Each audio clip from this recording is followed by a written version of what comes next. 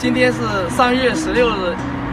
自从意大利三月十号封城以来，那么今天阳光明媚，我呢出去采购了一些买吃的东西。那么等一下我带你去看看，那么现在这里的物价是怎么样的？那么出行呢，只要填好这张自我声明的出行声明证书就可以出行了，以备路上警察检查。开着车在家附近的上了环城高速，路上车。没有平时的那么多了，明显的减少了很多。那么我现在已经进入梅图罗了，你看梅图罗他们的公司也在这里提示顾客跟顾客之间要保持一米距离，只能是一个人进来消费。哦，今天带着女儿过来也不让进来。来货架上现在看到的是好多蔬菜也已经没有了。那刚才来到了海鲜这边，这里的海鲜也是不多了。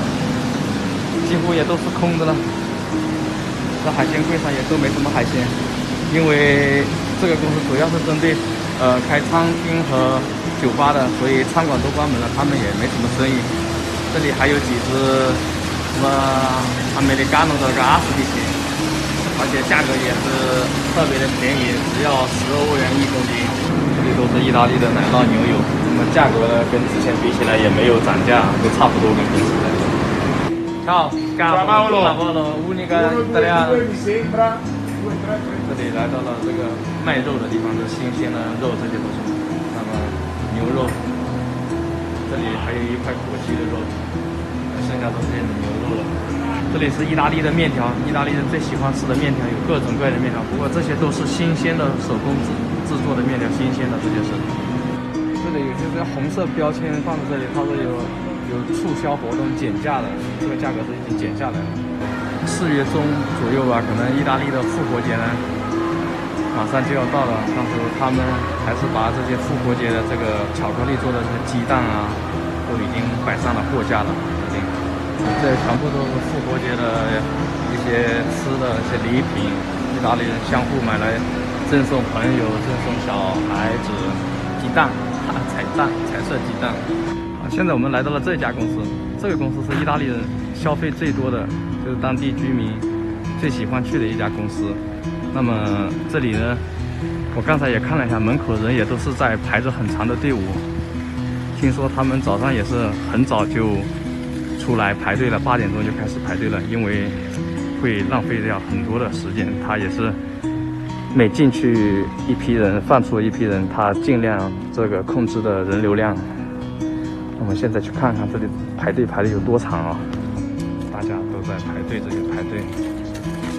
巧白了啊，刚好认识我的一个客人。Come sta bene? Non c'è mascherina. 哦，他说买不到。我认识的客人，他说买不到口罩。嗯，你看这这里，这里都是排队的，排队的，好像排出去将近有两百米长了，特别的长。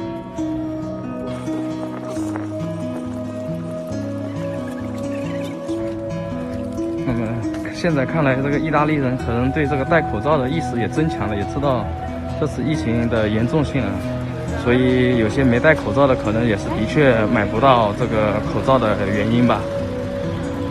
现在米兰这些店面啊，已经都是几乎全部关门了，全部关门了，除了药店和食品的这些超市在营业之外，其他的已经全部关门了。那么我今天开着车子在外面也溜达了一圈，也将近一个多小时了。那么路上呢也没遇见警察检查，啊，所以说这个意大利人这个还是相对来说还是还是自觉的，一般他们没事就不出门啊，出门了只要做一个自我声明就可以了。